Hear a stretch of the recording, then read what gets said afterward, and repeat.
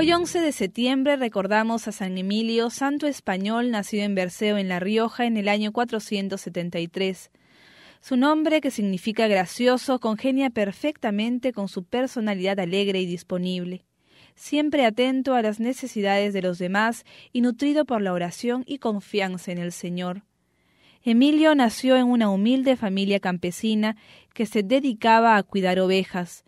Siendo apenas un adolescente, descubre su vocación a la vida contemplativa y respondiendo a su llamado, parte hacia los montes de Bilibío, cerca de Aro, para convertirse en uno de los discípulos del monje Félix y llevar una vida solitaria y penitente.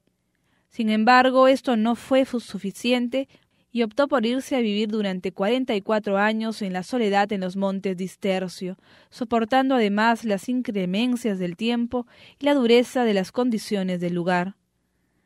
A pesar de vivir en el retiro, prontamente comenzaron a circular comentarios sobre su santidad. Muchas personas lo buscaban y acudían a él, y ante tanta popularidad, el obispo de Tarazona le ordena servir como sacerdote en la parroquia de su pueblo natal. Transcurre los últimos años de su vida en soledad en el Valle de Suso, acompañado de una comunidad de hermanos y hermanas que forman allí un pequeño oratorio.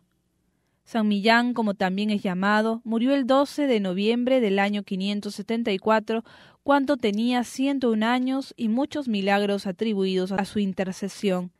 Su cuerpo fue enterrado por sus hermanos en el lugar donde se creó el oratorio.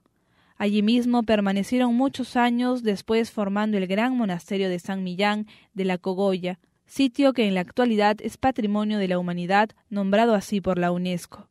Pidamos a San Emilio que nos ayude a que como Él sepamos tener en nuestro día a día un espacio reservado especialmente para el Señor, que nuestra mente y nuestras acciones sean silenciosas, prudentes y encarnadas en nuestra realidad y en la de los que más nos necesitan.